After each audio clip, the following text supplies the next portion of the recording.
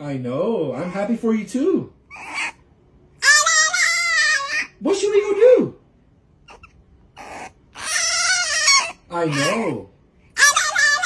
I understand completely.